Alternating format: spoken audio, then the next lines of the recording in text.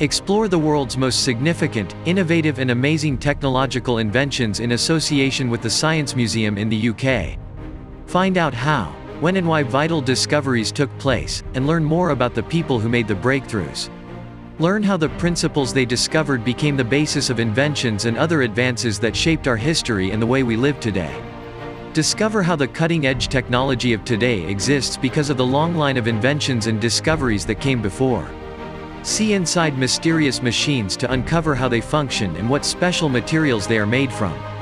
Find out about the combination of inspiration and perspiration that helped pioneers piece together an ever deeper understanding of ourselves, our planet and the universe around us.